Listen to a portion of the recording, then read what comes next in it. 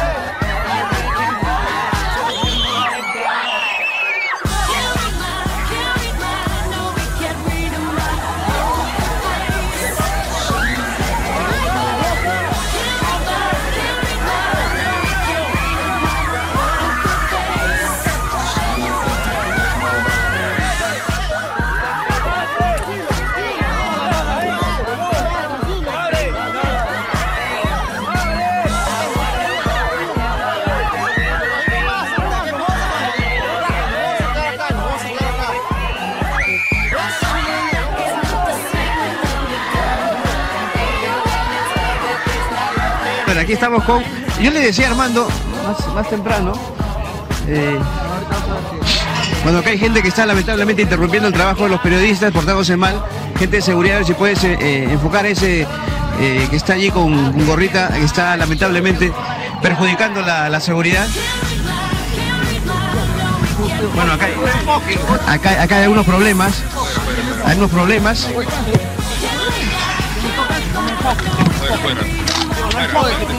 Bueno, hay algunos problemas aquí, lamentablemente Armando, eh, con esta gente que lamentablemente está eh, portándose mal con los periodistas. Bueno, pero ahí hay seguridad, ¿no es cierto? A ver si. Esa, esa es, este, se supone gente de seguridad. Se supone que gente de Pero seguridad. en la vía pública no hay ningún problema en grabar ahí. Sí. Se está portando de manera matonesca. Ah, y no hay ahí Sí, sí. Bueno, es lamentable esto.